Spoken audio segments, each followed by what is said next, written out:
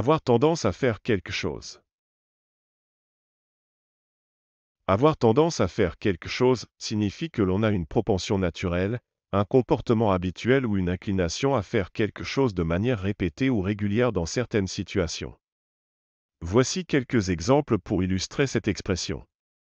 Mon ami a tendance à se plaindre beaucoup, cela signifie que dans diverses situations, cette personne a souvent pour réflexe de se plaindre et de trouver des aspects négatifs.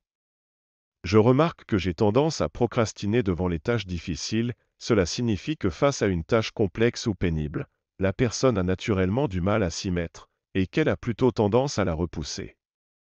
Ma sœur a tendance à être impatiente quand elle est pressée, cela signifie que cette personne a souvent un comportement irritable lorsque, pour des raisons de temps, elle ne peut pas réaliser une action de manière rapide.